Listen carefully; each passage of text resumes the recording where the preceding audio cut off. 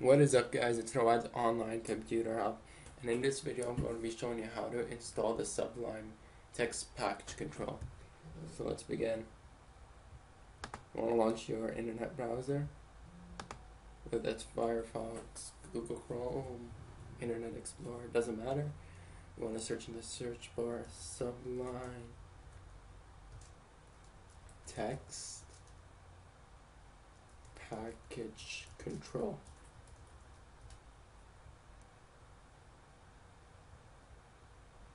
And you just want to click the first link. You'll be brought to this page. I'm going to click install now. And here you have two options either to choose Sublime Text 3 or Sublime Text 2 so if you have Sublime Text 2 you put this code in. If you have Sublime Text 3 you put this code in. You copy and paste this code in Alright, so in this case I have Sublime Text 3, so I'm just going to copy that.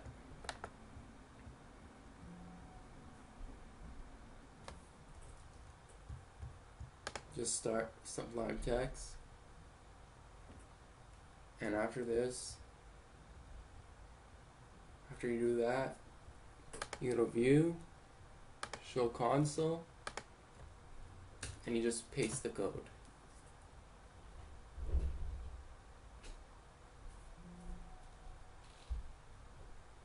Alright. Once that's done, I'm going to go to Preference, Browse Packages,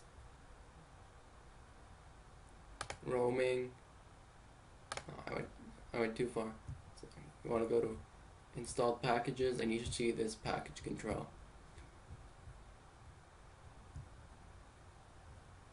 And once you have all of that, you got you make you got to make sure if it's work you got to make sure it's working right? So what you do is control hold control shift P uh, search packages and you have all these all these options.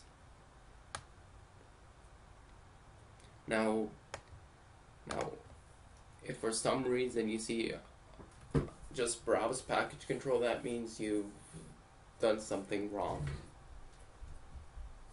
you've done something wrong. So guys, uh, that's that's about it. That's how you install package control in Sublime Text 2 or 3, doesn't matter. Um, if you found this video helpful, make sure to leave a like, comment, subscribe for more awesome content I'm going to provide. I know these videos uh, have been pretty basic, um, but they'll get they'll get deeper as I go on. Anyway, guys, thanks for watching. Peace.